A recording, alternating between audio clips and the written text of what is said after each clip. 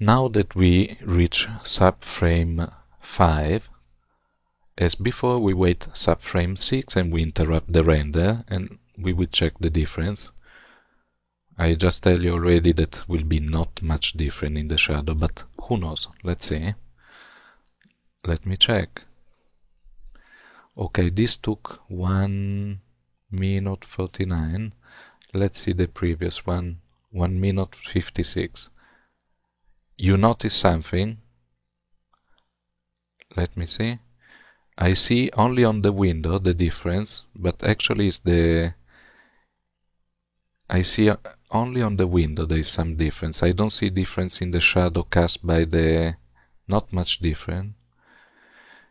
To, to check this kind of uh, attribute we should enable final gather global illumination and everything and we should uh, also use a very high resolution, not 800 by 600, but we should go to at least 2000 by 1005, but we don't have the time in the presentation now.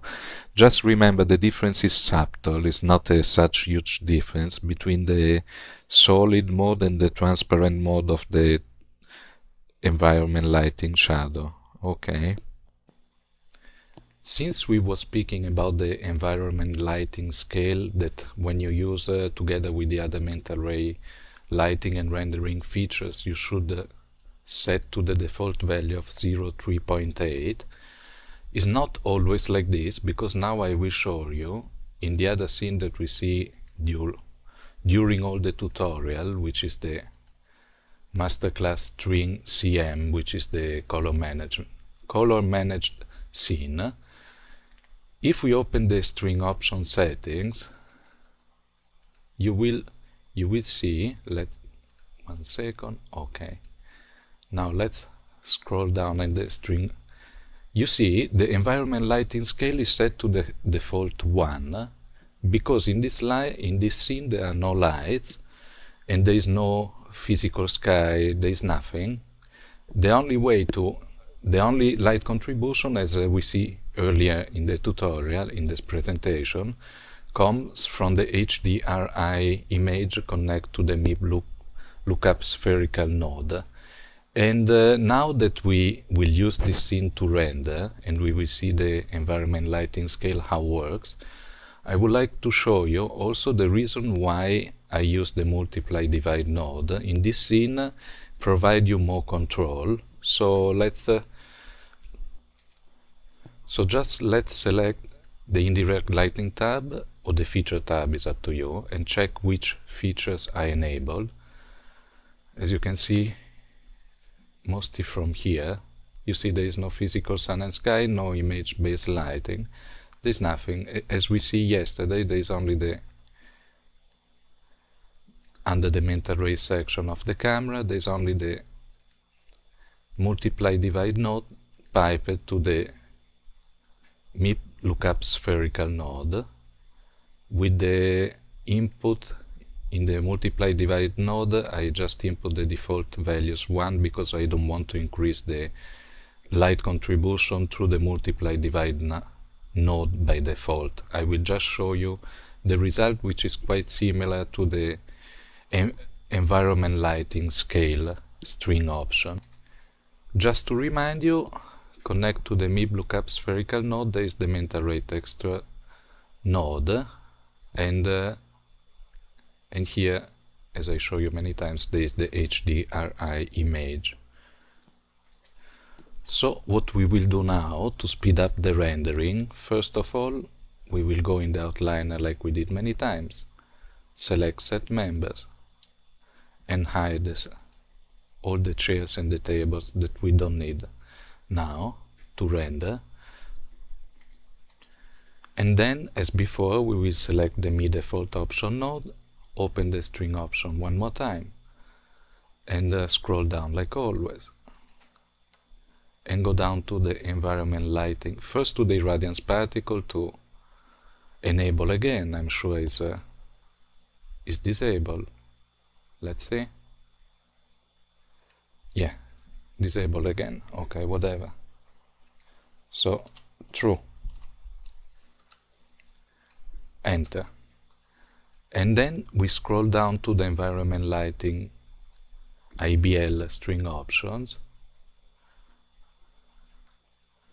And here there is the scale lighting mode quality shadow scale. Set to the default value 1 we will uh, to increase the speed of the render like we did before under the features tab we will go brute force. No global illumination no final gather. And uh, since it keeps switching off I will switch off again the irradiance particle. Also because this scene is uh, quite slower than the previous masterclass string scene so just open the render view panel and select a region with the chalkboard, a few window, and let's see what happened. Hit render. As before we open the this is a brute force approach, so will be not interpolated, will be quite rough. It's just to show you that with this uh, scene, you can go you can increase the light contribution from two different in two different ways. One is with the environment lighting scale that in this scene defaults to 1. You see the progressive rendering already start, so everything is fine. I think we will reach frame 5 in uh, just a few seconds. Subframe, sorry. So let's see another few seconds. The other way to increase the light contribution, we will use uh, for comparison, we will use the multiply divide node. Here we are already frame 6. Let's stop the render. Now before to do that, we will increase uh, the environment lighting scale to the value 8. And let's see what happens.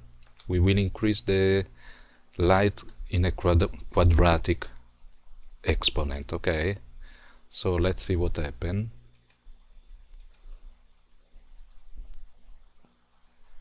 Here we go. As you can see, it's very bright. The scene, very contrast. There's a high contrast between light and shadow because, uh, as I told you before, we are going brute force. As I told you before, I also like brute forces. I like high contrast in the pictures, in the image.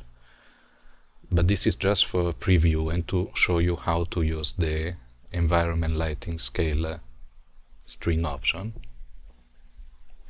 let's render a little bit more. In this case, since it's very fast, we go to frame 10, let's say 10, to see what are the result. Ma, maybe better not, maybe just frame 5 or 6 subframe will be enough. So here we are, correct? Yes. Stop the render.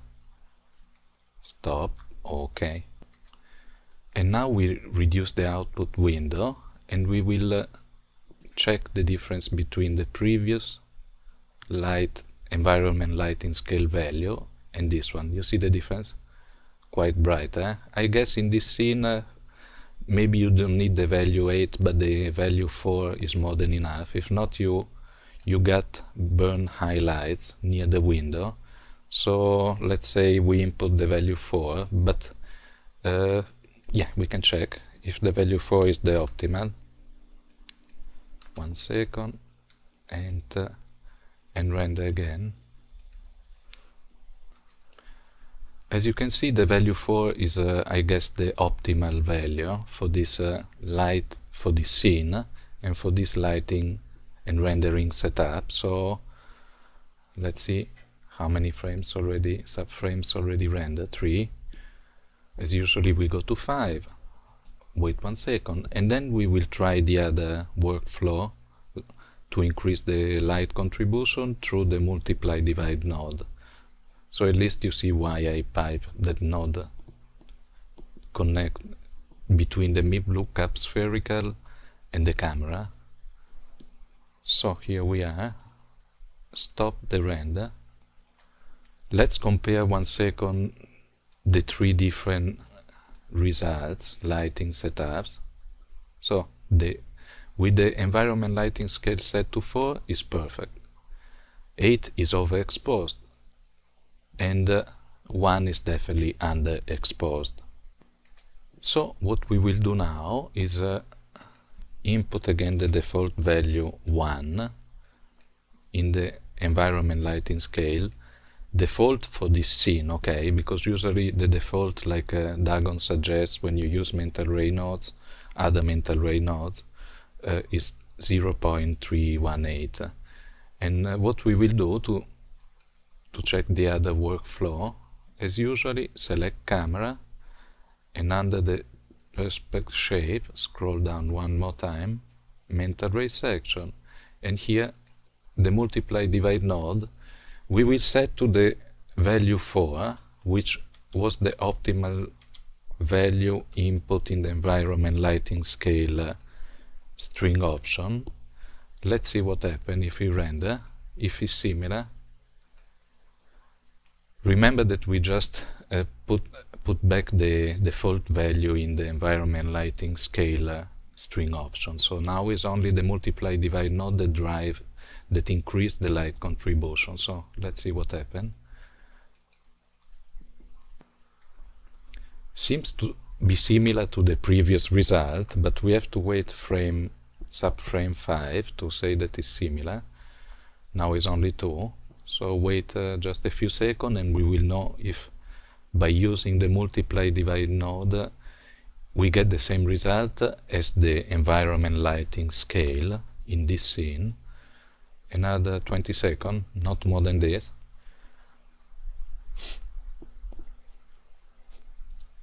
so I guess here we are let's interrupt the progressive sampler stop it here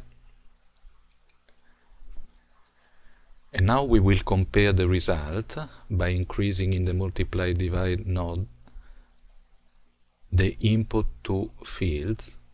As you can see, it's quite similar. This is the with the multiply divide node. You can see render time one minute. Let's see with the environment lighting scale set to 4. It's quite similar, as you can see.